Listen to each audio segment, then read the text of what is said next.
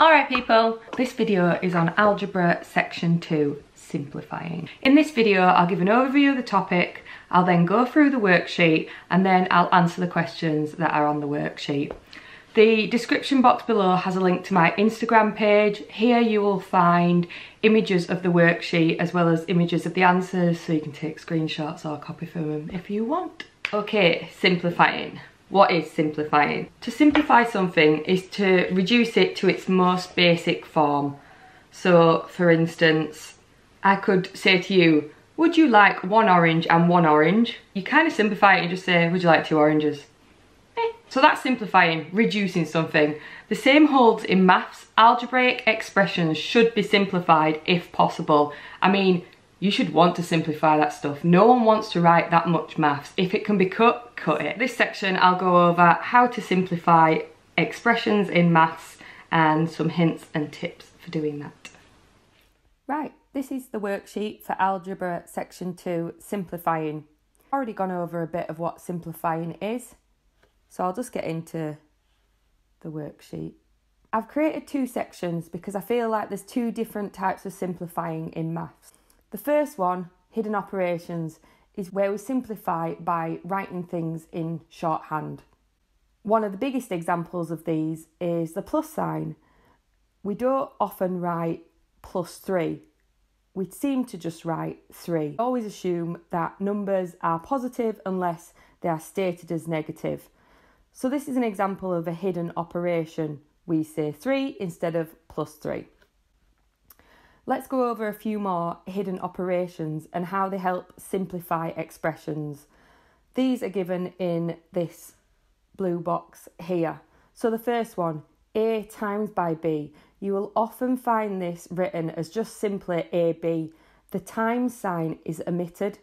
Second shorthand, A times by A. When something is times by itself, you can use powers, i.e. these floating numbers. So for a times a, we would just write this as a squared. penultimate one, a divided by b. Well, this is just the same as a times by 1 over b, which you can then write as a over b. Let's have a look at some examples. With these examples, I tend to deal with negative signs, then I'll deal with numbers, and then I'll deal with letters. So here we've got just negative signs and letters. So let's start with the negative. We've got a minus, times by a plus, which is hidden. So we know that's going to be a minus. So let's start off by writing that. We've got x times by x. Well, we know from our rules above that that's x squared. And we've still got to deal with the y. So now we've got minus x squared times by y. Well, that just becomes minus x squared y. This is a simplified expression of this here. Second example, again, I'm going to deal with the negative signs first. So here we have a minus times by a minus. Well, we know a minus and a minus gives a plus. So I can write this as km. And I haven't dealt with the next bit, so I'll, I'll just keep it like, I'll just keep it the same for now. Now, we've got a plus times by a minus. So we know the answer is going to be a minus. And then we've got km terms by L. So we can just write that as k m l. Perfect. Second section, collecting terms. Unlike the previous section where we were simplifying things by writing them in shorthand, in this section we're actually combining terms. We're doing some arithmetic, some calculations. First example, 3x plus 2x. Three lots of something plus two lots of the same thing is equal to five lots of that thing. Final example, minus 5y plus minus 6x plus 4y minus minus 7x. Here you've got two different terms. You've got y terms and you've got x terms. You can only add up or subtract like for like terms. So in cases like this, I like to group up the similar terms. So for instance, let's put our y's together. So we've got minus 5y and then we've got plus 4y. Now the x's. Plus minus 6x, that becomes minus 6x. Minus minus 7x becomes plus 7x. So everything's nicely together and we can simplify this. Minus 5y plus 4y is minus y. Minus 6x plus 7x is plus x. So this teeny expression is a simplified version of this beast. Right, they were examples of addition and subtraction simplifications. Let's have a look at multiplication and divide examples. First example, 3x times by 2. So we have 3x and we want two lots of them. We can just simply say what is 3 times 2?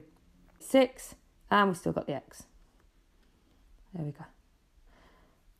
If this confuses you, you can always think of, well, this is 3x and you want two lots of it. So you can think 3x plus 3x, which is 6x. Yep. Final example, 12x squared divided by 2xy. From these examples above, we know we can write that as 12x squared over 2xy. Again, we can utilise our knowledge of fractions and say 2 goes into 2 once and 2 goes into 12 six times. So we get 6x squared over xy. Now, just like we did with the numbers, we can cancel out letters as well. So here we have an x on the bottom and we have an x squared on the top. Now remember that this is actually 6x, x i.e. 6 times by x times by x, and it's all over xy. Now you've got an x at the bottom and an x at top. These can cancel out, so you can go x goes into x once, and x goes into x once. Therefore, the final simplified version of this expression is 6x over y. That's everything in this worksheet. It's probably a good idea to pause the video and try out these questions to test your knowledge and then come back to this video and you can see me simplifying all these expressions. You'll be able to see my workings as well as the final answer.